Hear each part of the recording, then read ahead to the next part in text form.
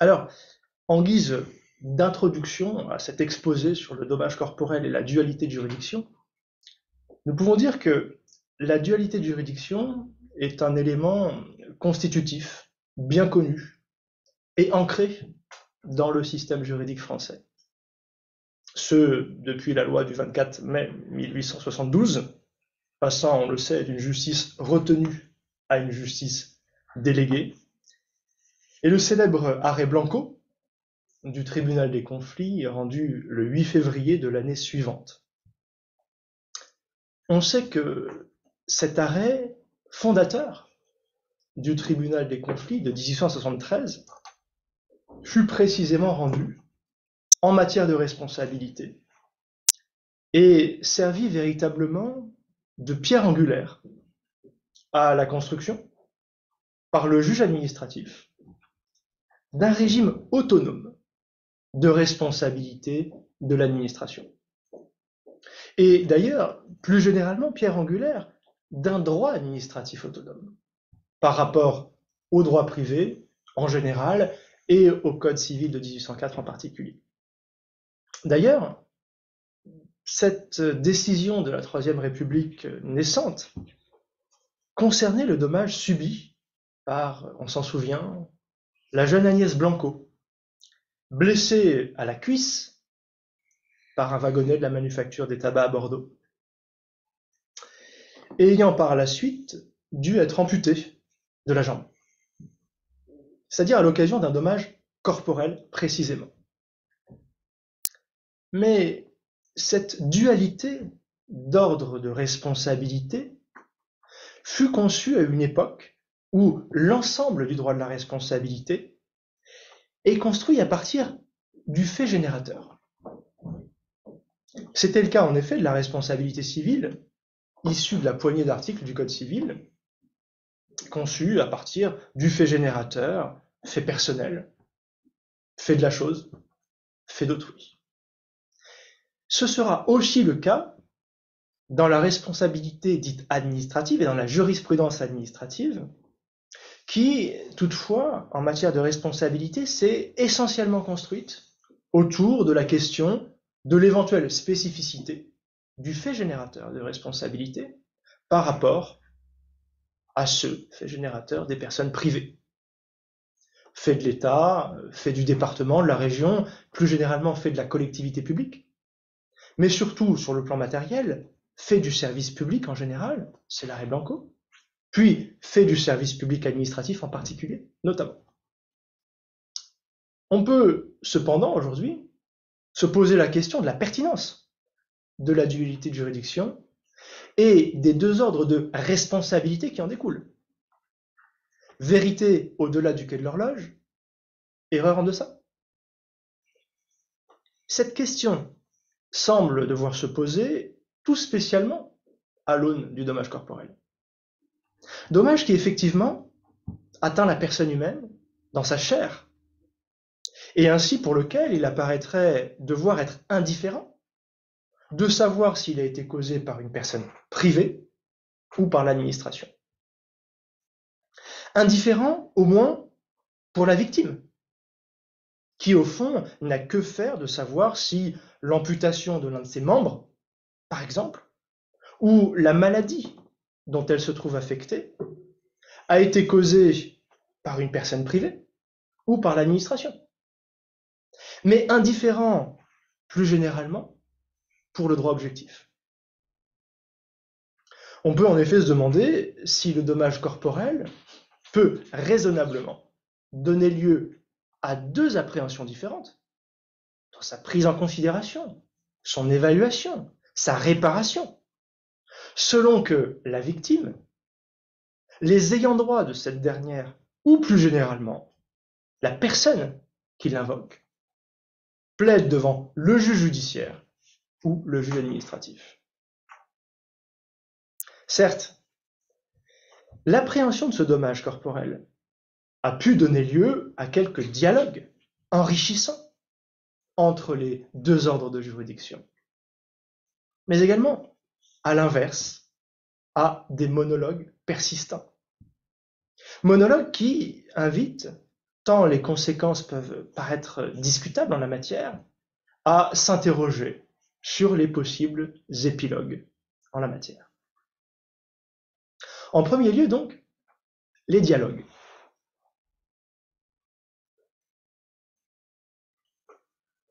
En matière de dommages corporels,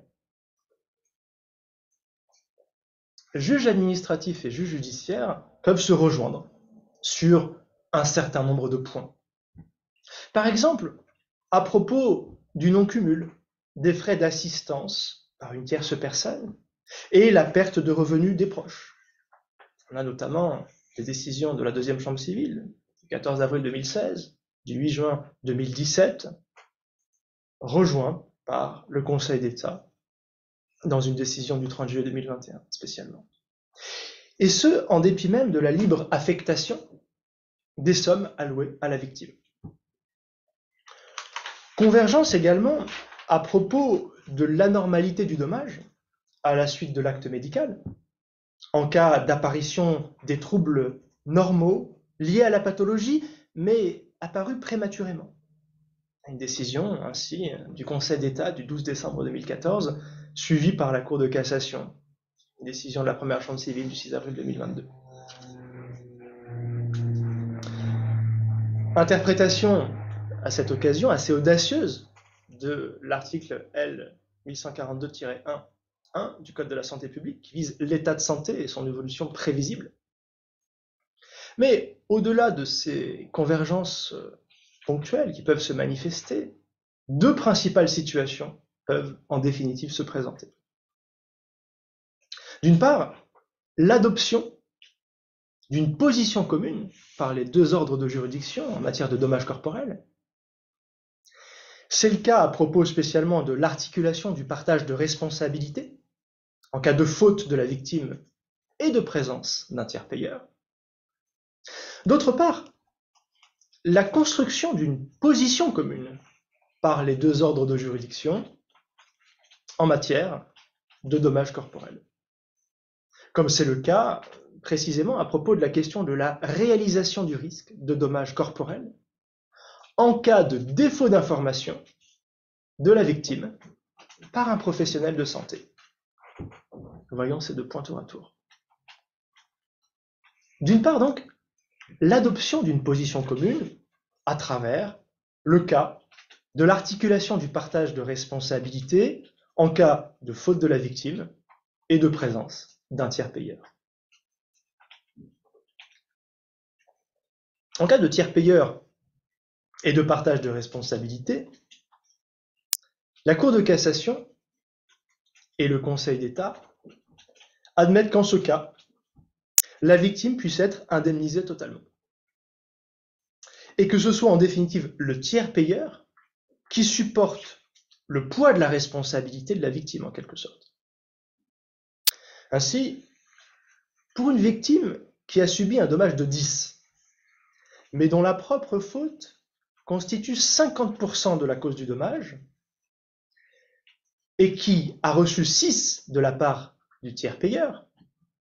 Si mes calculs sont exacts, la victime peut obtenir 4 de la part de l'auteur du dommage, c'est-à-dire 10 du dommage moins les 6 versés par le tiers payeur.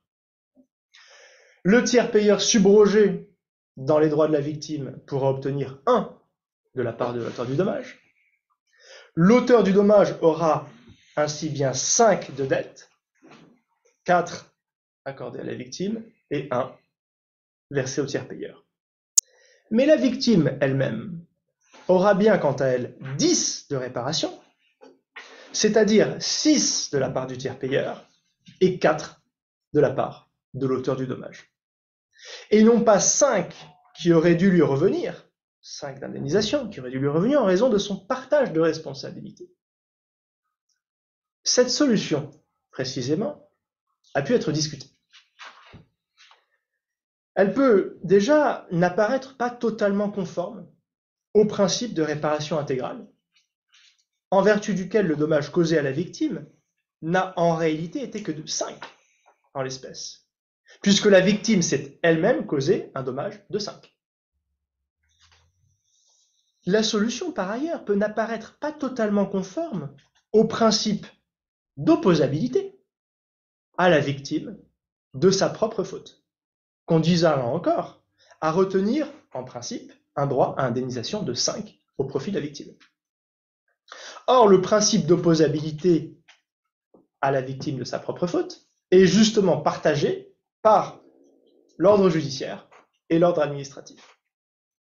Et puis, cette solution partagée par les deux ordres de juridiction fait en définitive peser sur le tiers payeur le poids de la part de responsabilité de la victime elle-même. Donc, en quelque sorte, un transfert de ce poids euh, de la victime au tiers payeur. Mais de l'autre côté, cette euh, solution, partagée par les deux ordres de juridiction, donc, a également pu être approuvée. Déjà, la créance de la victime contre l'auteur du dommage prend bien en compte sa part de responsabilité. Dans les rapports entre la victime et l'auteur du dommage, on prend en compte cette part de responsabilité de la victime. Par ailleurs, la victime dispose ou disposerait d'une créance personnelle sur le tiers payeur. Tiers payeur auprès duquel, en particulier, elle a pu cotiser. Tiers payeur qui peut donc être considéré comme, en quelque sorte, payant sa propre dette. Et indépendamment de la créance de la victime sur l'auteur du dommage, même si en réalité, en réfléchissant euh, à la question, on pourrait considérer que cette autonomie apparaît bien relative et bien discutable, parce que le règlement de la créance par le tiers payeur dépend bien en définitive du dommage émanant de l'auteur. Et donc finalement de l'obligation de réparation qui pèse sur cet auteur du dommage. Et donc il y a une autonomie finalement assez relative entre la créance de réparation de la victime et euh, la dette du tiers payeur. Et puis, la victime finalement ne s'enrichit pas vraiment dans cette situation. Pourquoi? Parce que, pour reprendre notre exemple chiffré, elle n'obtient que 10 de réparation. C'est-à-dire qu'elle n'obtient pas davantage que le quantum de son propre préjudice. Et donc, euh, il n'y aurait pas d'enrichissement et le principe de réparation intégrale serait sauf en quelque sorte. En tout état de cause, cette position commune entre les deux ordres de juridiction en matière euh, de dommages corporels témoigne d'un certain dialogue entre ces ordres de juridiction. Dialogue qui s'avère dans l'intérêt même de la victime. C'est également le cas dans d'autres situations, notamment dans le refus commun par principe partagé par les deux ordres de juridiction de prendre en considération les prédispositions de la victime euh, pour atténuer son droit à réparation. Et puis, les deux ordres de juridiction peuvent aussi, le cas échéant, converger vers une solution défavorable à la victime, spécialement dans l'affirmation de l'absence de droit de préférence de la victime lorsque l'indemnisation provient d'un fonds d'indemnisation sur lequel le tiers payeur n'a aucun recours subrogatoire. On a notamment un avis du Conseil d'État du 18 mai 2011 rejoignant euh, finalement, euh, rejoint par la Cour de cassation dans une décision de la deuxième chambre civile du 10 décembre 2015. Puis au-delà, les deux ordres de juridiction ont pu converger aussi, par exemple, sur l'absence de référence obligatoire à un barème de capitalisation, une décision de la deuxième chambre civile du 7 juin 2001, et une décision du Conseil d'État du 4 décembre 2009 en particulier. D'autres fois, le dialogue se manifeste par la construction progressive d'une position commune en matière de dommages corporels par les deux ordres de juridiction. D'autre part, donc, la construction d'une position commune. Et nous allons voir ça à travers la question de la réalisation du risque de dommages corporels en cas de défaut d'information.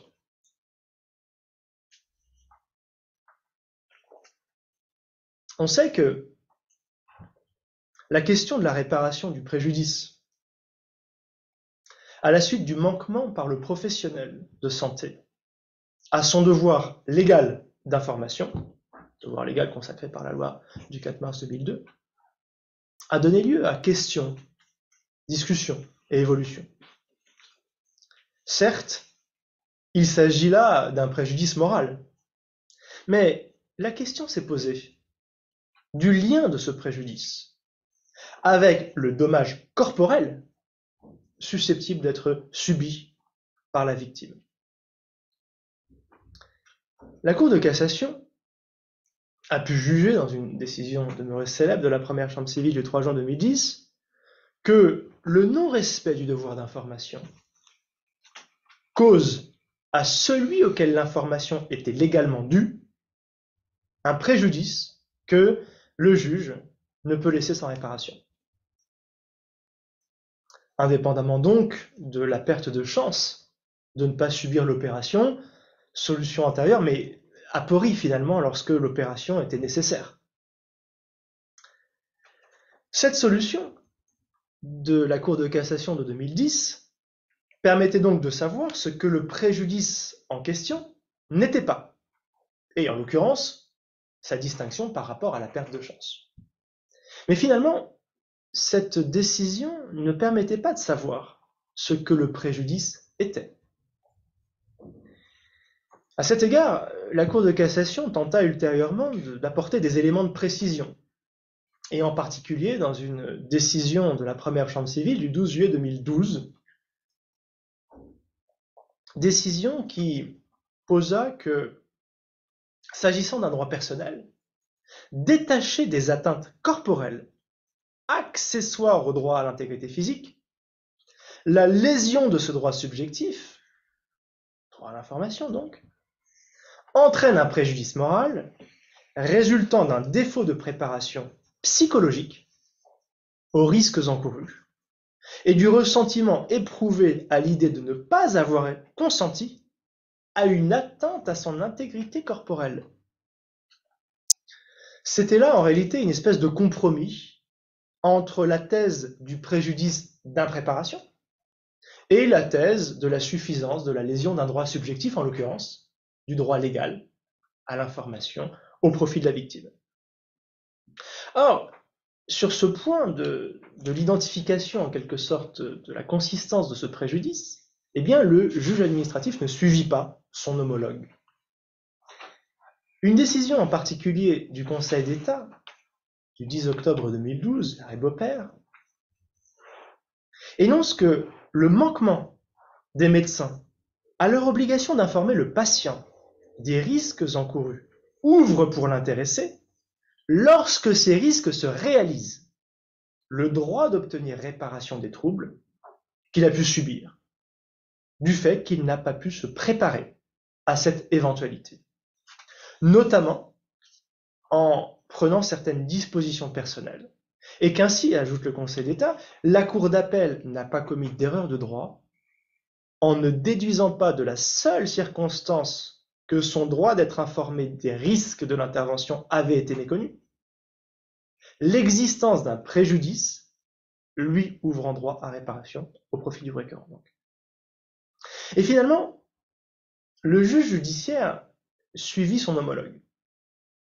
Dans une décision de la première chambre civile du 23 janvier 2014, la Cour de cassation énonça effectivement qu'indépendamment des cas dans lesquels le défaut d'information sur les risques inhérents à un acte d'investigation, de traitement ou de prévention a fait perdre au patient une chance d'éviter le dommage résultant de la réalisation de l'un de ces risques, en refusant qu'il soit pratiqué, le non-respect par un professionnel de santé de son devoir d'information cause à celui auquel l'information était due lorsque ce risque se réalise, un préjudice résultant d'un défaut de préparation aux conséquences d'un tel risque. Préjudice que le juge, ajoute la Cour de cassation, ne peut laisser sans réparation.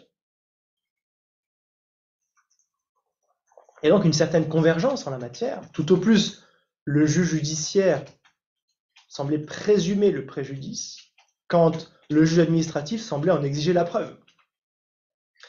Mais le Conseil d'État lui-même admit ultérieurement la présomption de ce préjudice dans une décision du 16 juin 2016. Décision du Conseil d'État qui, là encore, s'enrichit du dialogue avec son homologue judiciaire en posant s'il appartient au patient d'établir la réalité et l'ampleur des préjudices qui résultent du fait qu'il n'a pas pu prendre certaines dispositions personnelles dans l'éventualité d'un accident, la souffrance morale qu'il a endurée lorsqu'il a découvert, sans y avoir été préparé, les conséquences de l'intervention, doit, quant à elle, être présumée. En tout cas, la nouvelle solution murmurée par le juge administratif aux oreilles du juge judiciaire, en quelque sorte, semble plus légitime que l'ancienne position du juge judiciaire. Car enfin, il est difficile de déterminer à quel moment précis il y a manquement au devoir d'information. Et surtout, l'ancienne position judiciaire ne paraissait pas opportune dans la mesure où on voit mal, lorsque euh, le défaut d'information n'a effectivement été caractérisé, on voit mal dans quelles circonstances la victime pourrait s'en plaindre, lorsque finalement le dommage corporel objet du risque ne s'est en définitive jamais réalisé. Par exemple, vous risquiez de devenir paraplégique, on ne vous l'a jamais dit, mais l'opération vous a débarrassé définitivement de votre hernie discale, et des douleurs y afférentes. De quoi seriez-vous donc fondé à vous plaindre? Il y a donc parfois un dialogue fructueux entre les deux ordres de juridiction, judiciaire et administratif, ici en définitive pour corréler le préjudice moral à l'impréparation de la réalisation du dommage corporel. Mais parfois, le fait que l'on soit en matière de dommage corporel n'empêche pas les deux ordres de juridiction de mener des monologues séparés. En deuxième lieu, donc, les monologues. Deux importants monologues des deux ordres de juridiction en matière de dommages corporels seront étudiés ici.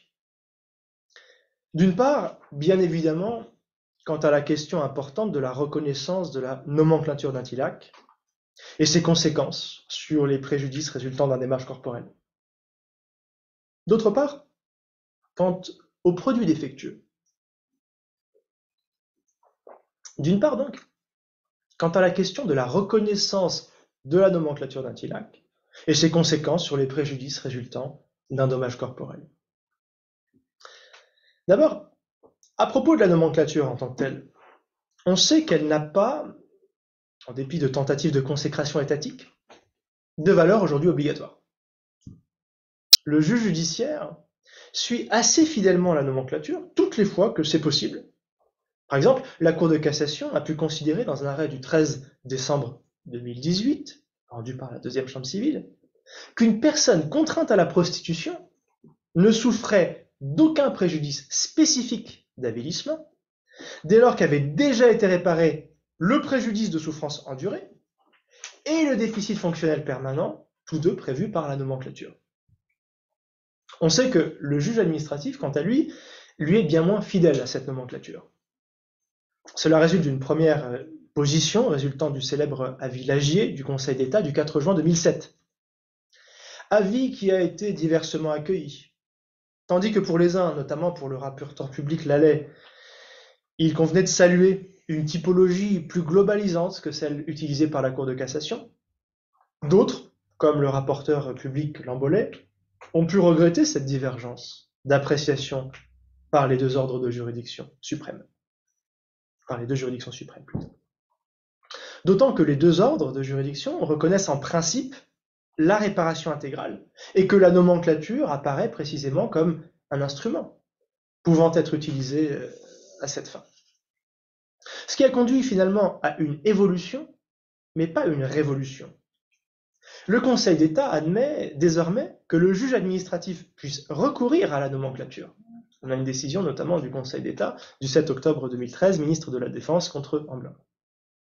Mais le juge administratif n'utilise pas souvent la nomenclature et peut encore aujourd'hui appréhender globalement des préjudices patrimoniaux et extra-patrimoniaux. Une décision notamment du Conseil d'État du 6 août 2021 qui opère une globalisation de l'indemnisation du préjudice par ricochet, aide quotidienne, perte de gains professionnels et dégradation des conditions d'existence.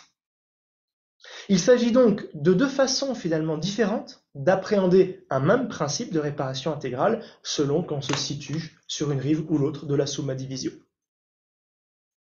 Mais de son côté, la Cour de cassation admet aussi la possibilité de reconnaître et de réparer des préjudices non énumérés par la nomenclature et issus de dommages corporels. Par exemple, bah, par exemple, le préjudice sexuel par ricochet, ou encore le préjudice d'industrie. On l'a vu notamment avec une décision de la première chambre civile du 30 juin 2021. Ce qui fait qu'en réalité, les monologues apparaissent plutôt comme des postures plutôt que comme des profondes divergences. Le juge judiciaire, on l'a dit, applique par principe la nomenclature, mais admet la possibilité de s'en éloigner au besoin. Le juge administratif n'applique par principe pas la nomenclature, issue, rappelons-le, d'un groupe de travail présidé par un magistrat judiciaire, mais admet néanmoins la possibilité d'y recourir au besoin. Alors, il y a des avantages et des inconvénients de ce système résultant du juge administratif. L'avantage, c'est la souplesse, bien évidemment. L'inconvénient corrélatif, c'est qu'il y a une relative incertitude en la matière et qu'il y a un risque aussi de méconnaissance du principe de réparation intégrale du préjudice dont on a rappelé qu'il était pourtant lui aussi reconnu par le Conseil d'État.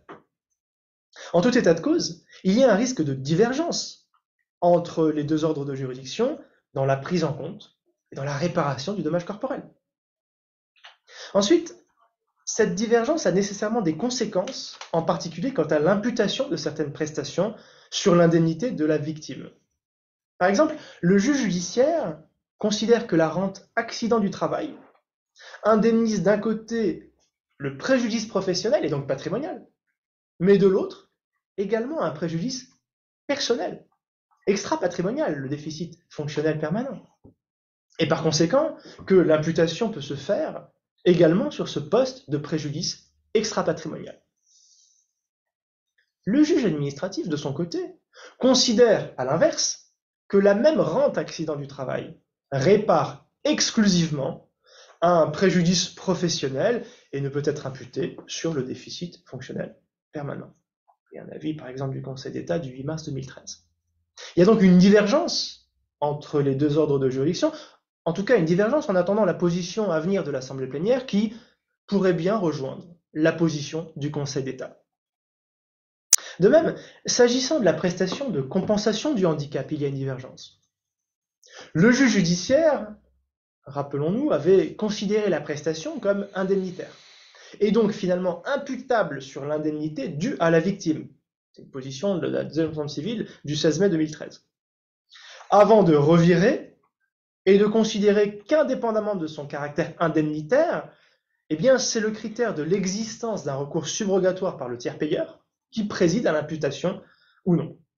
Or, le recours n'est pas prévu pour la prestation de compensation du handicap et donc ne donne pas lieu à imputation. Le juge administratif, à l'inverse, considère en suivant la première position du judiciaire, mais non sa position ultérieure finalement, que la prestation de compensation du handicap a un caractère indemnitaire et donc s'impute sur l'indemnité due à la victime par l'auteur du dommage. C'est notamment euh, la décision du Conseil d'État du 23 septembre 2013, CHU de Saint-Étienne. La position du juge administratif s'avère donc, une fois n'est pas coutume, plus favorable à la victime. Ces monologues, en tout cas en matière de dommages corporels, se poursuivent également en matière de produits défectueux. D'autre part donc en matière de produits défectueux. À propos des monologues des deux ordres de juridiction en matière de produits défectueux, deux points apparaissent devoir être envisagés. D'abord, la question du lien de causalité entre les produits défectueux et certains dommages.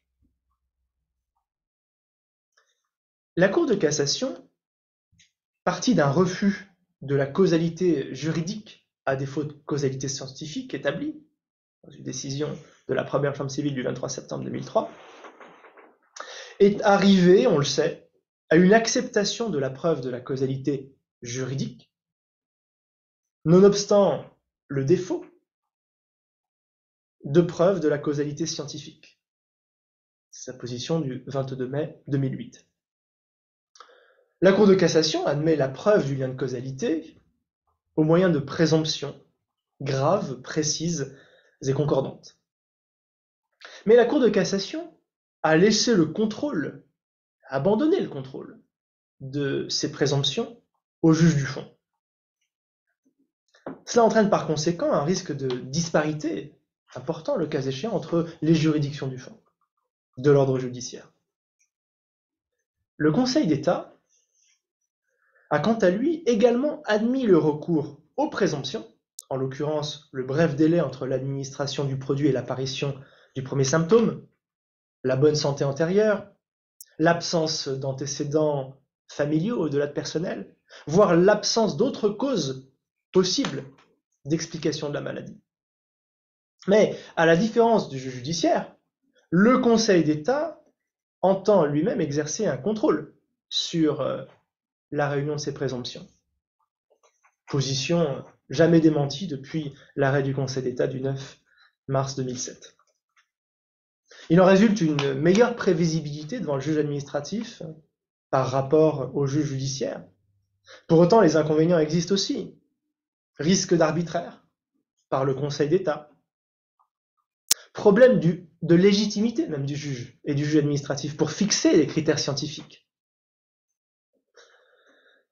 Et incertitude également sur le délai d'incubation antérieur, le cas échéant. Sans compter euh, l'inégalité, bien sûr, entre les victimes, dont les symptômes se sont déclarés pour les unes à 2 mois et 29 jours, et pour les autres à 3 mois et 1 jour. On sait que le Conseil d'État a tendance à retenir le délai de 3 mois pour la manifestation des premiers symptômes. En tout cas, il existe une inégalité des victimes entre elles également selon qu'elles se trouvent devant le juge judiciaire ou le juge administratif. Au-delà de l'inégalité entre les victimes devant le juge judiciaire, selon le ressort de la cour d'appel compétente. À cela s'ajoute un revirement de la part de la Cour de cassation, à la suite euh, d'une réponse à une question préjudicielle de la CJE du 21 juin 2017, Sanofi Pasteur,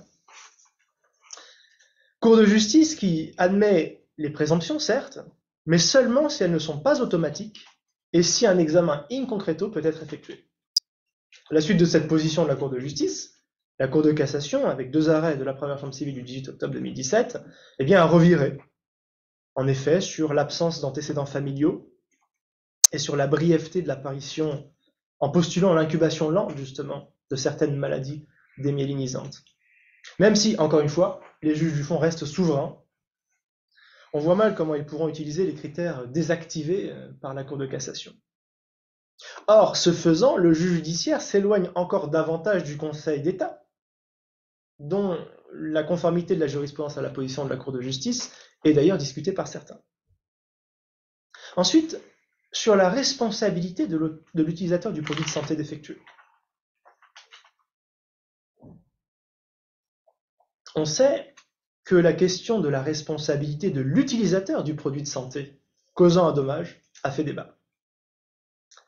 Si les deux ordres de juridiction considèrent de concert qu'il s'agit là d'un professionnel et pour l'essentiel d'un médecin susceptible de se servir à l'égard du patient de produits variés, alors produits à usage unique, compresses, antiseptiques, désinfectants, mais également, le cas échéant, Usage avec dépossession en quelque sorte, et implant dans la personne même du patient, prothèse en particulier. Dépossession qui n'implique pas de fourniture au sens juridique du terme, et donc on considère que l'utilisateur eh bien, n'est pas un fournisseur pour autant.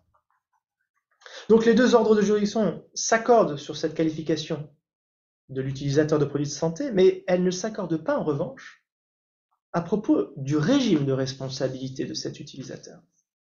La question a été celle de savoir si cet utilisateur d'un produit défectueux est ou non soumis à la responsabilité de plein droit, issue de la directive européenne du 25 juillet 1985, visant, on le sait, les producteurs et le cas échéant les fournisseurs, mais pas les utilisateurs. Le juge judiciaire avait d'abord retenu une obligation contractuelle avant la loi du 4 mars 2002.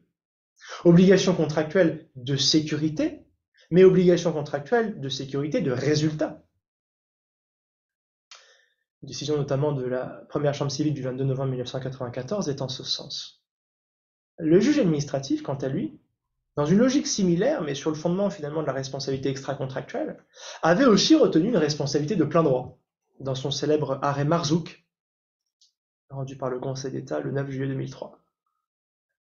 Puis, après que la Cour de justice eut considéré que l'utilisateur de produits défectueux n'entrait pas dans le champ de la directive, dans son arrêt du 21 décembre 2011, centre hospitalier de Besançon, la Cour de cassation revira pour retenir une responsabilité pour faute, notamment dans une décision de la première chambre du 12 juillet 2012, récemment confirmée dans une décision de la première chambre civile le 26 février 2020.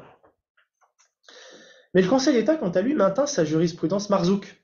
On a une décision notamment du Conseil d'État du 25 juillet 2013 rendue à propos de l'implantation d'une prothèse de genou défectueuse.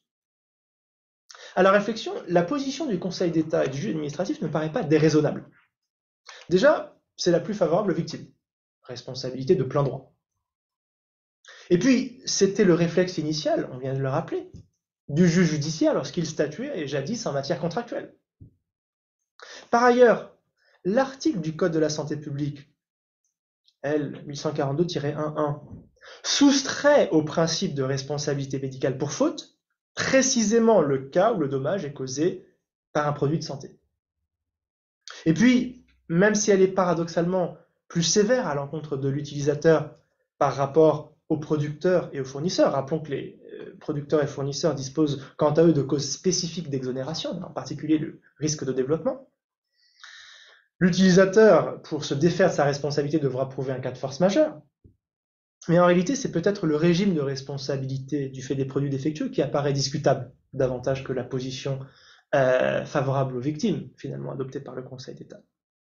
En tout état de cause, ces divergences et monologues persistants en matière de dommages corporels invitent à se pencher sur les épilogues envisageables. En troisième lieu, donc, les épilogues. Alors en pastichant quelque peu Saleil, dont chacun connaît les importants apports à la responsabilité civile, on pourrait dire que les épilogues apparaissent d'une part par la réforme projetée dans son dernier état, euh, issue de la proposition de loi sénatoriale de juillet 2020, mais d'autre part, au-delà de la réforme projetée. D'une part donc, par la réforme projetée. La réforme projetée du droit de la responsabilité civile prévoit, on le sait, d'harmoniser les règles de réparation du dommage corporel. C'est l'article 1267 projeté qui euh, pose que les règles de la présente sous-section, relatives donc au dommage corporel, sont applicables aux décisions des juridictions judiciaires et administratives ainsi qu'aux transactions conclues entre la victime et le débiteur de l'indemnisation. Cette réforme pourrait ainsi poser le socle, un début de, droit commun de la responsabilité des personnes privées et publiques, précisément en autre matière, en matière de dommages corporels.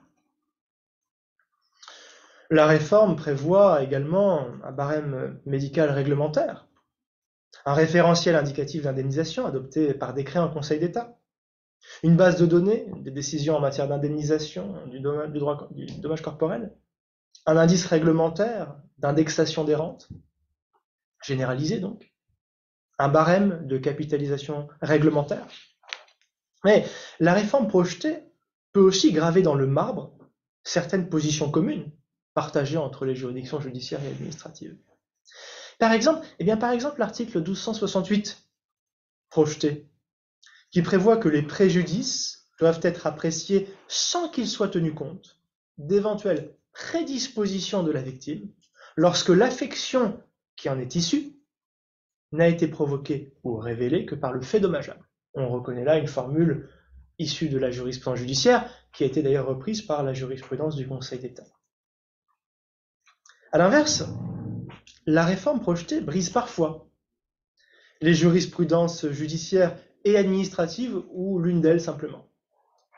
Ainsi, l'article 1269 projeté qui prévoit que les préjudices patrimoniaux et extra-patrimoniaux résultant d'un dommage corporel sont déterminés poste par poste, suivant une nomenclature non limitative des postes de préjudice fixés en décret, euh, par décret pardon, en Conseil d'État. Et donc, la nomenclature réglementaire serait bien obligatoire, mais elle ne serait pas limitative. Ce que finalement, la Cour de cassation et le Conseil d'État admettent déjà à travers leur jurisprudence respective qu'on a rappelée. De même, le projet prévoit, en cas de partage de responsabilité et en présence d'un tiers payeur, hypothèse qu'on a évoquée précédemment, d'opposer à la victime sa faute. C'est l'article 1276, alinéa 3 du projet, qui pose que la faute de la victime ne peut réduire son droit à indemnisation que sur la part de son préjudice qui n'a pas été réparé par les prestations du tiers payeur. Celui-ci, poursuit le texte, a droit au reliquat de la dette mise à la charge du responsable. Et donc, bien que la règle projetée soit défavorable à la victime, elle semble, par rapport à la solution actuelle, issue des deux ordres de juridiction, finalement plus respectueuse. Respectueuse du principe de l'opposabilité à la victime de sa propre faute, respectueuse du principe de réparation intégrale, et respectueuse également, au-delà de l'équilibre financier des tiers payeurs,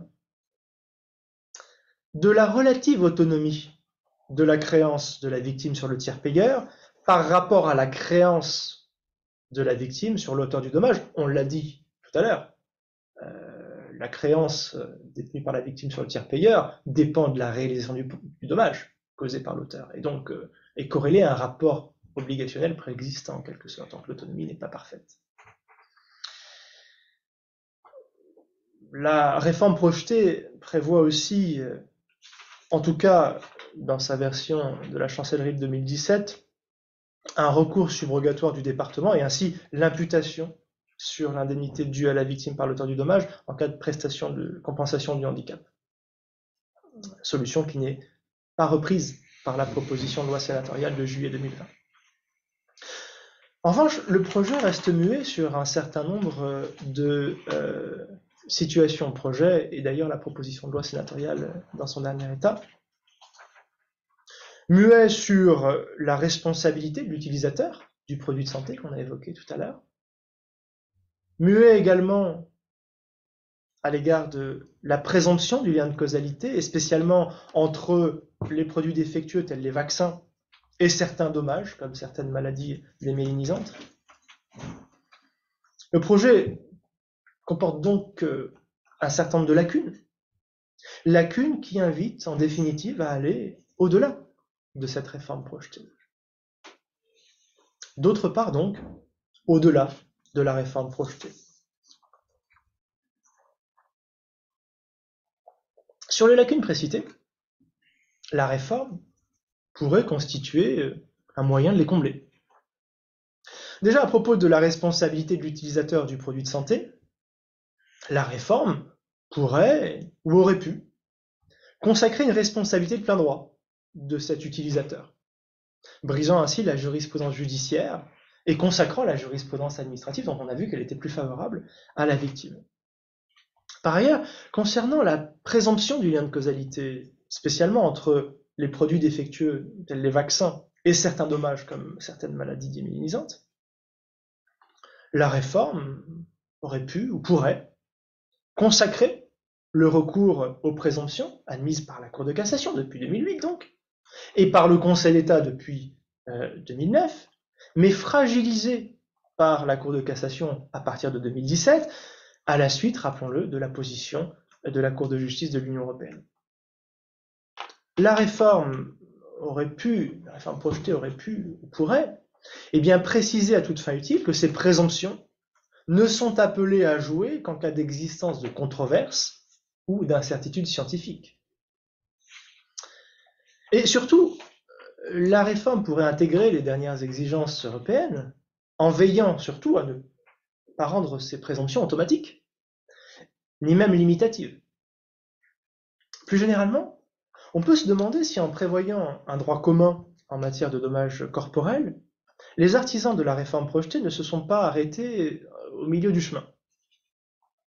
En effet, il y a un contexte contemporain euh, qui invite à la réflexion et qui tient tout à la fois au recentrage de la responsabilité civile vers le dommage et vers la victime, ou le cas échéant ses ayants droit, et non plus euh, focalisé sur le fait générateur de responsabilité et sur le débiteur de, de l'obligation de réparation.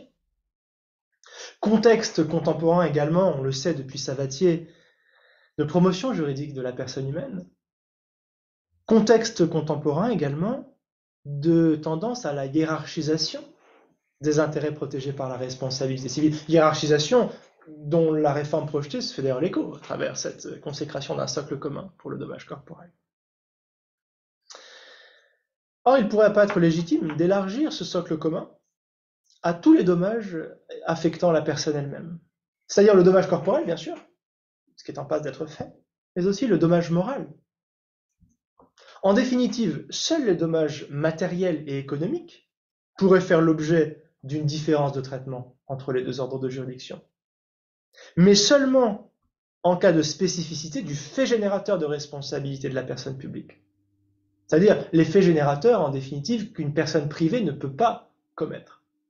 Le fait d'une loi, le fait d'une convention internationale, le fait d'une coutume internationale.